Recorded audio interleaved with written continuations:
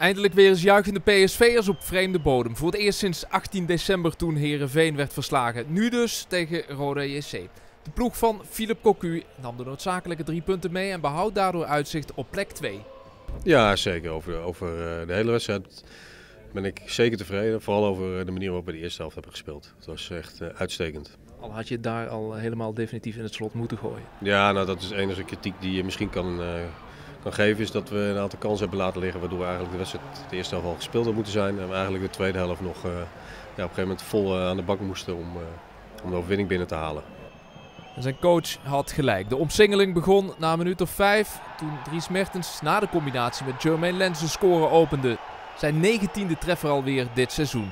Daarna kreeg de ploeg in de eerste helft kans op kans. Maar bleef Roda in de wedstrijd. De eerste helft uh, speelden we heel goed en uh, zijn we veruit de betere partij. En uh, moet je eigenlijk 4-5-0 in de rust voor staan. En dat gebeurt niet en dan uh, blijft het 2-0 en dan scoren zij de 2-1 en dat, is, uh, dat uh, mag niet gebeuren. Ik creëer twee goede kansen, of drie goede kansen eigenlijk en ik scoor er geen één, dus dat is niet zo goed. Nee, ja, je zegt het nu met een glimlach, maar latje trappen is een andere competitie. Hè? Ja, inderdaad. nou, ik, had, ik had wat pech, zal ik eens maar zeggen. Die, die eerste, ja, dat is, een, het is eigenlijk een moeilijke bal.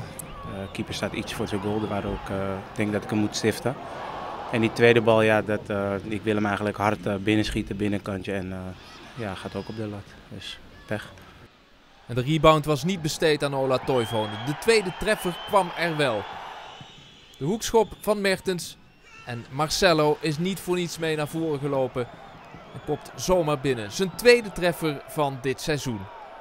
En een comfortabele 2-0 voorsprong in een niks aan de hand wedstrijd. Maar Philip Cocu is alert, staat meteen aan de zijlijn om zijn ploeg scherp te houden. En dat blijkt nodig.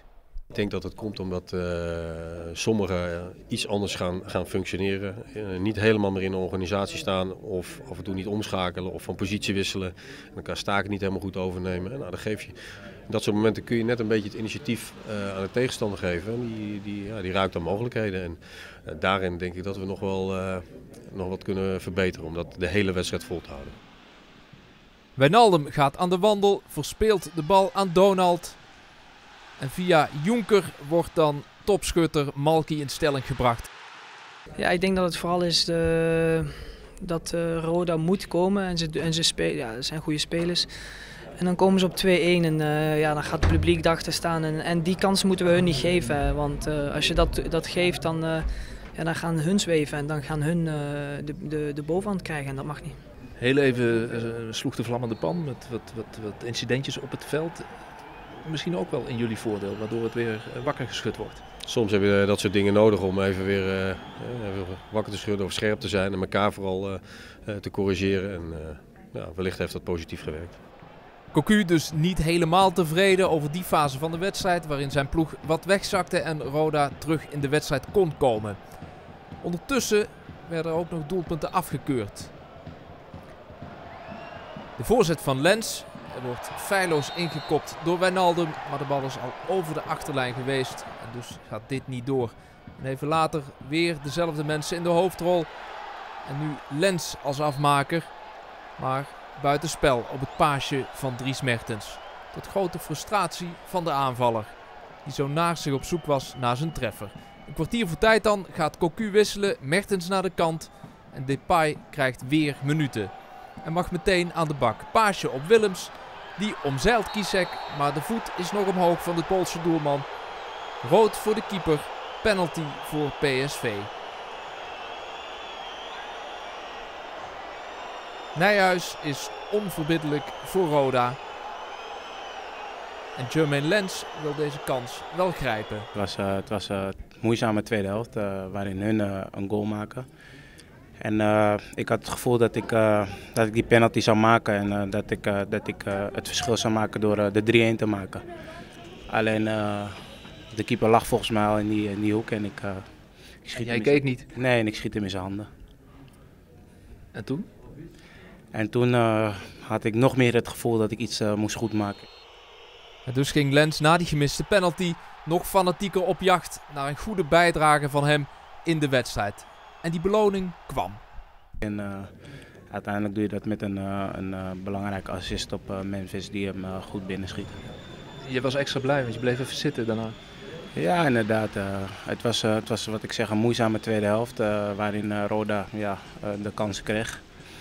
En wij hebben de wedstrijd eigenlijk te laat op slot gegooid. En dat doe je eigenlijk pas ver in de tweede helft. En dan ben ik opgelucht dat ik, dat ik met een assist toch nog belangrijk ben. Hier nog één keer die goal in de maak. Sterk het lichaam gebruikt, tegen Biemans op de been gebleven tegen Wielaert en het overzicht bewaard, zodat Depay kan scoren. PSV doet wat het moet doen in Kerkrade. Ja, dat is het allerbelangrijkste. We kwamen hier om vervolg te geven aan eh, de afgelopen twee wedstrijden. En uh, daarom zeg ik, over de hele wedstrijd gesproken moet ik gewoon tevreden zijn. Ja, zeker. We hebben nu drie wedstrijden op rij gewonnen. En, en de volgende is woensdag thuis tegen ADO. Dus die moeten we ook winnen. En dan zet je een reeks neer en dan hoop je op die tweede plek. Woensdag dus ADO thuis. Zondag moet dan alles duidelijk worden in Rotterdam op het kunstgras van Excelsior. Dit zijn de uitslagen van de dit weekend gespeelde wedstrijden. PSV wint in Kerkrade van Roda. En als we dan de top 6 erbij pakken, wint Herenveen bij Heracles. Wint Ajax bij FC Twente. Wint Feyenoord van AZ. Dat leidt dan tot de volgende stand. Ajax koploper, officieus kampioen van Nederland met 70 punten. Op 6 punten gevolgd door Feyenoord. 1 punt daarachter PSV. En op de lijst van topscorers voegt Dries Mertens 1 aan zijn totaal toe. En komt daarmee op 19 treffers in de Eredivisie voor PSV dit seizoen.